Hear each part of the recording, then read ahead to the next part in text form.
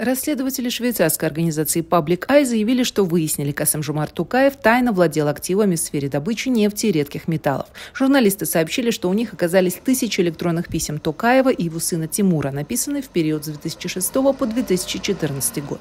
Eye утверждают, что в 2002 году, когда Тукаев был премьер-министром Казахстана, компания Petroleum Capital, принадлежащая его сыну и племяннику, получила лицензию на разработку нефтяного месторождения Градовое в Атарауской области.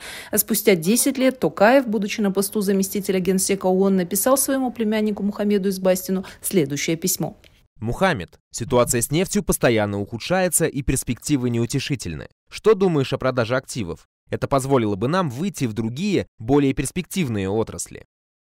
Судя по содержанию писем, в те годы Токаев оценивал свою долю в Аби Petroleum в 10 миллионов долларов. По данным издания, Аби Petroleum платила компании Edelweiss Resources за услуги по разгрузке нефти в российском порту Приморск в 2012 году. Эта компания принадлежит Тимуру Токаеву. Токаев отец в письме, написанном в 2013 году, сообщал, что общая сумма переведенных денег превышает 4 миллиона долларов.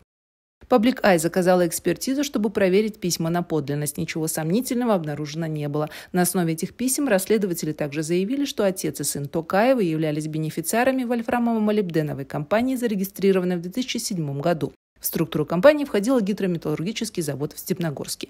Издание направило несколько запросов в Аккурду, но не получило ответа. После публикации расследования сайт Public Eye оказался недоступен в Казахстане. Затык также направил официальное письмо в Аккурду. В этом году Центр исследования коррупции и организованной преступности выяснил, что на счетах сына Тимура и бывшей супруги Токаева Надежды хранились значительные средства, а Курда назвала это фейком и информационной атакой.